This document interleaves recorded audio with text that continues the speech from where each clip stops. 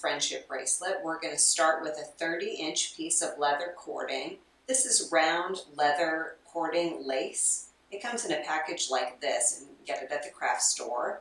The one we're using is 1.5 millimeters in diameter. We also have some scissors, a ruler, and a little silver shank button. And the first thing you want to do is you want to fold your cord in half. The easiest way to do that is to line up your ends like that, and then your cord is perfectly folded in half. We want to make a little loop at one end. The loop's right there, and we're just going to tie a knot. And what this knot is going to do is create a little loop at one end that's going to serve as part of our clasp. And I want this knot to be about an inch and a half from the end. I'm going to make it a little smaller than the loop I just made. There we go. And just pull that tight. That's one end.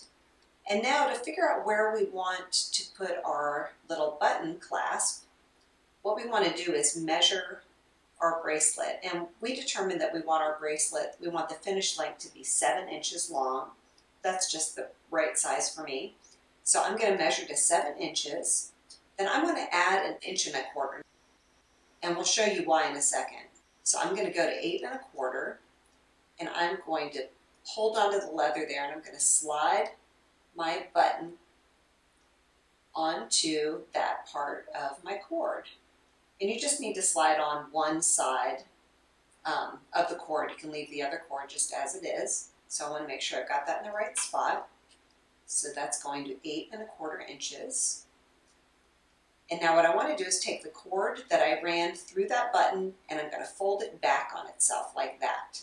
So now you see I've got what looks like three cords. Really it's the two main cords and the one I just folded back. I'm going to grab all three cords and I'm just going to tie a simple knot. And I think it's easier, instead of trying to feed all this stuff through your knot, it's easier to use the loop end and just make a knot like that. Feed all three of those pieces through. It's just easier than, than the one with the button on it. And I want this knot to end up about the same distance from the end as this loop. So I'm going to kind of loosely tie the knot like that. And then I want to sort of check and see if those knots ended up about the same distance apart.